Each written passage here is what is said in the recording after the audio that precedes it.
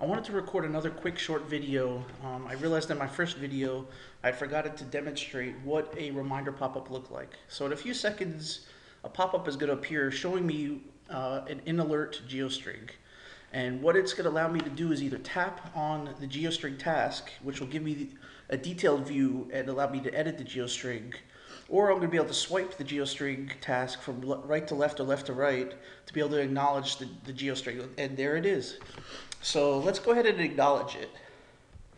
So I'm going to go ahead and acknowledge it. It removes the pop-up, and now that geostring is deactivated. So now if I go to my geostrings, and I'm going to go to my inactive geostrings, there it is, buy pillows, Walmart, and Target. So now it is deactivated because I've already acknowledged it.